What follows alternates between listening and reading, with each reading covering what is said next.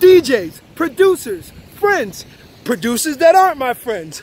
I'm about to go work on my set for my second headlining show next week, and I want your heat. So I'm gonna drop my email in the description of this, and I want you to send me your bangers. Send me that heat. And to celebrate, I'm gonna jump off this cliff, y'all. Y'all ready? One, two, three. Yeah, I'm not jumping off that shit. Yeah, there's great whites out there. Hell no, I ain't jumping off that shit. But I do want you to send me your heat. So, the email's in the description. Send me that heat. And if you're from Sacramento, turn around. Cause I'm coming for that ass, bitch.